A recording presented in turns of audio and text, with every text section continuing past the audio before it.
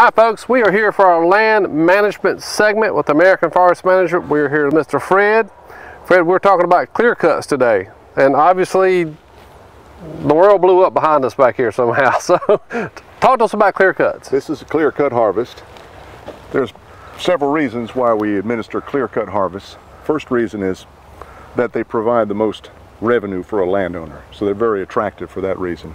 But also a clear cut harvest is administered from a forestry standpoint because the trees that grow into merchantable products in our region, in our area, that are manufactured into lumber and etc., pulpwood, are, uh, are require full sunlight to grow.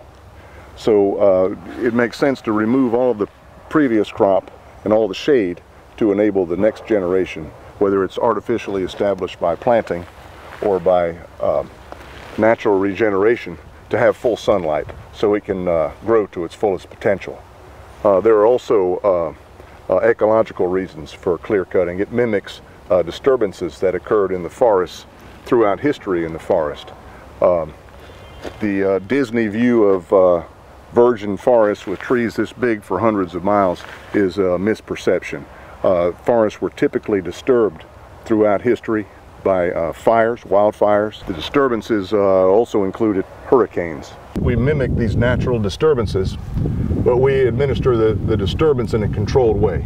We work for a landowner, and if the landowner decides he or she wants to employ a clear cut harvest, then we will find the boundaries. We'll have an area where this disturbance will be contained. We'll manage it. Then we'll uh, identify watercourses. We'll leave buffers around them in, in conformance with South Carolina best management practices to protect water quality. And these buffers will exclude uh, harvest or they'll have a minimal timber harvest in them. That will prevent sedimentation into uh, the watercourses. And what we're doing is protecting the waters of South Carolina while we're administering these disturbances that are systematic uh, employed by foresters. Then we create a map and the map will identify the, the water courses, the SMZs, the boundaries, also roads. They'll help the logger to identify where he might need to cross an SMZ. We have very good loggers in this area. They know how to uh, cross a water course and then stabilize the crossing and open it back up so we minimize the impact on water quality. And that's our objective. I'll tell you what, Fred, that's, that's actually very educational. I didn't realize so much planning and work went involved just to have a, a clear cut. I mean, there, there's a lot of work that goes involved prior to the first chainsaw getting cranked up. Yes, sir. We'll uh, sample what materials and products we have on the site, and then we'll uh, be able to appraise the timber value. Once we have a timber value, we go back to our landowner and we say, this is what we have for a timber sale, here's the map, and we estimate its value at this much.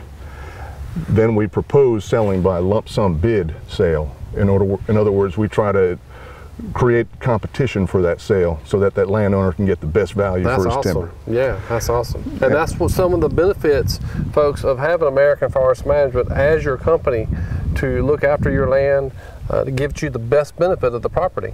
Right. You, you may only harvest your timber once in your lifetime or maybe twice. Right. So we want to maximize the value for it Absolutely. and help you do that. That's fantastic. That's right. Fred, thank you for showing us this. You're welcome. Enjoy it. Right back, guys.